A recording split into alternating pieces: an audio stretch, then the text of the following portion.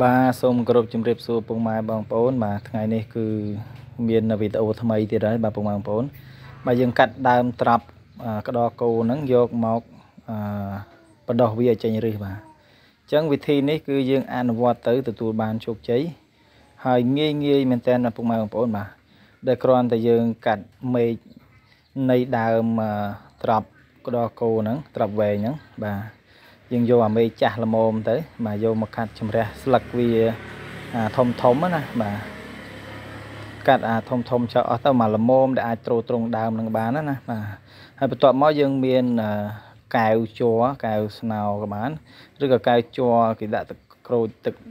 អឺក្លុកទឹកអីហ្នឹងយើងយកមកចោះគូតបន្តិចមកហើយយើងដាក់ដីចូលដីធម្មតាយើងហ្នឹងហើយបន្ទាប់មកទៀតយើងប្រើអុកមូន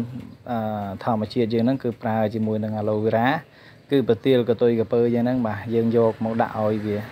ឲ្យវាជ្រាបចូលដើមណាបាទឲ្យវាជ្រាបចូលដើមអឺត្រប់ក្តោគោយើងហ្នឹងបាទបន្តមកទៀតយើងយកទុកសិនទៅហើយយើងយកដបមកយើងដែលបានដាក់ដីហ្នឹងបាទកំប៉ុងដែលយើងដាក់ដីហ្នឹងហើយយើងដាក់ទឹកបាទយើងដាក់ទឹកធ្វើម៉េចឲ្យជ្រាបបាទឲ្យជ្រាបចូលឲ្យសັບដីហ្នឹងទៅឲ្យវាវាវាសើមសំណើមជាប់ហ្នឹង ហើយបន្តមកទៀតគឺយើងដោះដើមត្រាប់យើងហ្នឹងចេញពីពទាកតុយកពើយើងទៅហើយយកយកមកដោតតែប៉ុណ្ណឹងគឺជាការស្រេចហើយពុកម៉ែបងប្អូនហើយបើសិនជាស្ទើរទឹកបាទស្ទើរទឹកវាអត់ជ្រាបដីសັບដី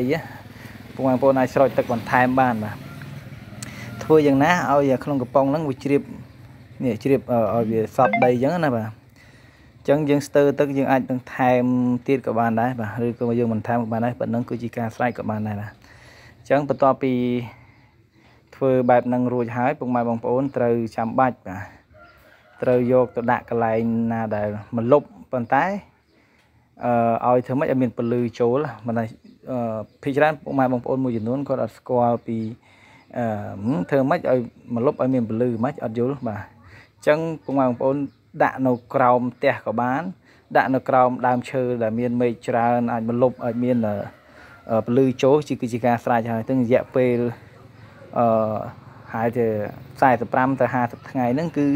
ចាប់ផ្ដើមចេញឬហើយបាទពុកម៉ែបងប្អូនចេញឬហើយអញ្ចឹងខ្ញុំនិយាយបកក្រោយបន្តិចសិនគឺនៅពេលដែលយើងដោតវាផ្សាំមិញហើយ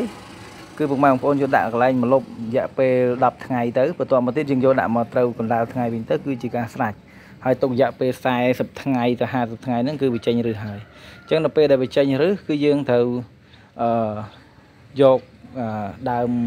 ត្រប់ក្តៅគោហ្នឹងចេញពីបាទចេញពីដបដែលយើងបានបដោះហ្នឹងយកទៅដាក់នៅក្នុងផើងឬក៏ក្នុងថូឬក៏យើងទៅដាំក្នុងផ្ទាល់ដីក៏បានដែរពុកម៉ែបងប្អូនហើយសួរថាតើយើងធ្វើបែបហ្នឹងធ្វើអីបាទ អូនមួយចំនួនក៏ថាអញ្ចឹងកាត់ទៅអីយើងមិនដាំពីក្របទៅវាបានដើមរឹងមាំផងហើយវាវាវាល្អផងអញ្ចឹងណាប៉ុន្តែការអនុវត្តបែបនេះគឺយើងធ្វើម៉េចឲ្យឆាប់ចេញផ្លែហើយដើមវានៅទៀបបាទយើងដាំលំអក៏ដូចជាដាំឲ្យឆាប់បានផល គឺយើងធ្វើបែបហ្នឹងពុកម៉ែបងប្អូនគេថាចូលប្រើរយៈពេលដល់2ខែហើយបាទហើយដាំក្របបានតែ2 3ខែអីល្មមអឺ បានហូបដល់គ្នាហ្នឹងបាទអានេះគឺជាការអនុវត្តឲ្យពុកម៉ែបងប្អូនបានទស្សនាថាយើងធ្វើបែបហ្នឹងចេញឬឬអត់ហើយជាមូលហេតុដែលគេយកទៅធ្វើដូចជាបុនសាយណាឬក៏យើងចង់ដាំក្នុងថូឲ្យវាផ្លែនៅទៀបទៀបវាស្អាតល្អមើលក្នុងឲ្យថាអ្នកនៅទីក្រុងអីចឹងគាត់គាត់អត់ចង់អឺប្រើស្ពេសដីធំឯក៏ដាំលើដំបូលផ្ទះក៏ចង់បានដើមទៀបទៀបអញ្ចឹងគាត់អាចធ្វើបែបនេះបានបាទឬក៏ចង់លួចពូជត្រាប់គេបាទលួចពូជត្រាប់គេដោយ អត់មានអត់មានផ្លែមានក្របយើងមានមេឃអញ្ចឹងយើងកាត់មេឃមកយើងធ្វើវិធីនេះក៏បានដែរបាទអញ្ចឹងវាជាការល្អដែរវាជាវិធីមួយដើម្បីជាការចែករំលែកពូជចែករំលែកនៅវិធីសាស្ត្រដែលអឺយើងអនុវត្តទៅវាបានទទួលបានជោគជ័យដូចជាយើងដាំក្របដែរប៉ុន្តែគាត់ថាវាឆាប់បានផលបាទយើងធ្វើវិធីនេះវាឆាប់បានផលវាឆាប់ចេញផ្កាបាទ អញ្ចឹងបន្ទាប់ពីឃើញរឹសដ៏ស្រស់ស្អាតវាហើយគឺយើងយកមកដាក់នៅក្នុងដីក្នុងផើងគេហៅថូណាឬក៏ផើងផ្កាណាយើងដាក់ផើងឲ្យធំល្មមមកហើយយើងដីហ្នឹងគឺយើងបានដាក់ទុកយូរហើយបាទហើយវាដុះស្មៅទៅវាអត់មានបញ្ហាដូចជាជំងឺនៅក្រោមដីបាទចឹងយើងគ្រាន់តែឆ្កឹះដីអញ្ចឹងមកហើយយើងដាក់អញ្ចឹងមកបាទគឺជាការស្រេចហើយបន្តមកទៀតគឺយើងស្រោចទឹកទៅបាទយើងស្រោចទឹកឲ្យវាសប់ជោគអញ្ចឹងទៅ ហើយអនុវត្តបែបនេះគឺយើងដាក់នៅក្នុងម្លប់ដែលមានលឺថ្ងៃចូលរយៈពេលមួយអាទិត្យអីទៅចឹងយកដល់ត្រូវថ្ងៃទៅជាការស្រេចហើយអញ្ចឹងបន្ទាប់ពីយើងដាក់បានប្រហែលជាមួយអាទិត្យឃើញមានការចេញបាទចេញផ្កាបាទចេញផ្កាមកគឺថាឆាប់ចេញផ្លែមែនតើបាទពុកម៉ែបងប្អូនអញ្ចឹងវាជាការល្អដែរដែលយើងបានចេះចំណេះដឹងមួយថ្មីបែបប្លែកថ្មីអញ្ចឹង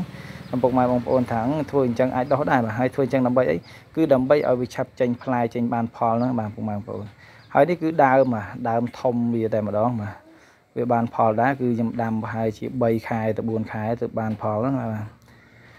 អឺពេលខ្លះគេប្រើជីគីមីអីទៅវាលឿនត្រឹម2ខែ3ខែគេចេញបានផលប៉ុន្តែខ្ញុំដាំតាមធម្មជាតិគឺយើងប្រើរយៈពេលយូរ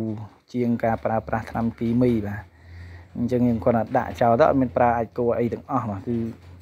ដាក់ដាំធម្មតាបាទនៅលើដីស្រែយើងធម្មតាហ្នឹងបាទគឺផ្លែល្អមែនទែនពុកម៉ែបងប្អូនបាទហើយការដាំបែបនេះគឺវាធានាទៅដល់សុវត្ថិភាពនៃការបរិភោគ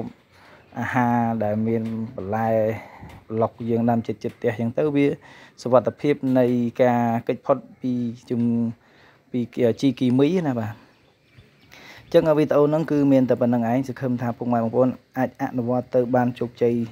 ទាំងអស់គ្នាហើយវាជាវិធីងាយងាយសម្រាប់ពុកម៉ែបងប្អូនស្រីស្រីនៅផ្ទះអុកសុកធ្វើ